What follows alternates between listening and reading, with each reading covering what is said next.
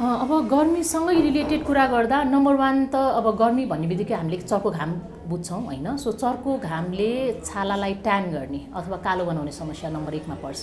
त्यसपछि यदि proper protection नलिएर चर्को घाममा गइएछ भने सनबर्न एक्युट सनबर्न घामले छालालाई जलाउने त्यो समस्या पनि निकै कमन छ। विशेष गरी स्पोर्ट्स खेल्ने व्यक्तिहरू गर्मी महिनाको सिजनमा हिजो स्पर्ट्स खेलेको थिएँ अनि आज चाहिँ सबै छाला रातमै भयो सुन्यो भनेर आउँछ। त्यसलाई एक्युट सनबर्न भनिन्छ। त्यो पनि निकै कमन छ। अब त्यो बाहेक गर्मी महिनामा हाम्रो तेल निकाल्ने ग्रन्थीले तेल ज्यादा निकाल्छ। सो तेल ज्यादा निकाले चाहिँ छाला चिल्लो हुन्छ। त्यो आफैमा पनि एउटा समस्या हो ज्यादा चिल्लो हुनु। र छाला ज्यादा चिल्लो हुँदा जुन डन्डीफोर आउने व्यक्तिहरू छ उनीहरूमा चाहिँ त्यो डन्डीफोरको मात्रा र डन्डीफोरको कडापना पनि बढेर आउँछ। त्यो पनि एक हिसाबले हेर्नुहुन्छ भने गर्मी महिनासँगै सम्बन्धित छ होइन?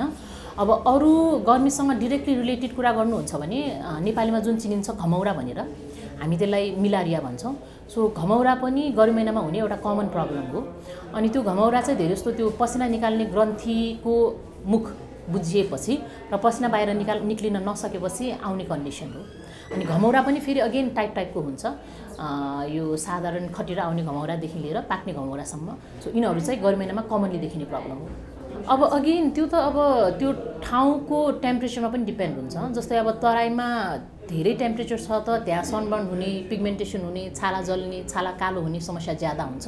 त्यसरी नै अब हिमाली भेगमा त अर्जमा टेम्परेचर त्यति हाई हुँदैन त्यही भएर त्योवाला प्रब्लमहरू कम होला होइन? सो भूगोल अनुसार भन्दा पनि टेम्परेचर अनुसार भनौँ हजुर। गर्मी महिनामा अघि मैले हाइलाइट गरे जस्तै दुई तिनवटा प्रब्लमहरू चाहिँ गर्मी महिनामा स्पेसिफिकली ज्यादा हुने हो। अब अघि मैले जुन घमौराको कुरा गरेँ त्यो चाहिँ बच्चाहरूमा ज्यादा देखिन्छ किनभने बच्चाहरूको यो पसिना निकाल्ने ग्रन्थीहरू वेल डेभलप हुँदैन र कहिले कहिले पसिना बाहिर निकाल निक्लिन नसकेर त्यो घमौरा आउँछ। अब वृद्धाहरूमा चाहिँ घमौरा अगेन ज्यादा हुने चान्स किन छ भन्दाखेरि उहाँहरूले लुगाको प्रयोग यदि ज्यादा गरेको छ गुम्सिएर राख्नु भएको छ भने पनि उहाँहरूलाई यो घमौरा ज्यादा हुन्छ। अब त्यो बाहेक अडल्ट एज ग्रुपमा गर्मी महिनामा कमनली हुने चाहिँ फङ्गल इन्फेक्सन हो। रिङदार होइन? किनभने दिनभरि काम गर्ने बेलामा कुनै न कुनै ठाउँमा पसिनाहरू जमेको फोर फोर जमेको हुन्छ र त्यसलाई सही तरिकाले पखालेको छैन छालाको सही तरिकाले केयर गरेको छैन भन्दा भने त्यो भिजेको छालामा चाहिँ फङ्गस जातको किटाणु पलाउने चान्स हुन्छ।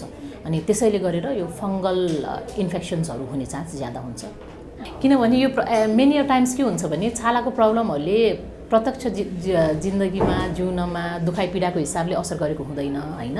त्यही भएर अब दुख्या छैन पिरुले छैन ज्यानलाई हानि गरेको जस्तो लागेको छैन भने मान्छेले ए पलाएको त हो सानो खतरा त हो भनेर व्यवस्था गरेको हुन्छ। तर हेर्नुहुन्छ भने विगत केही वर्षमा यो अवेरनेस चाहिँ एकदम इन्क्रिज भएको छ।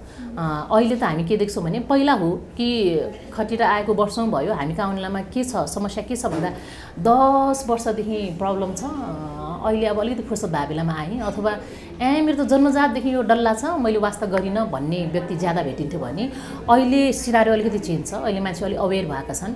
अहिले सानो धब्बादेखि लिएर खटिरासम्ममा मान्छे डक्टर कहाँ कन्सल्ट कन्सल्ट गर्न आउने चाहिँ बढेको छ।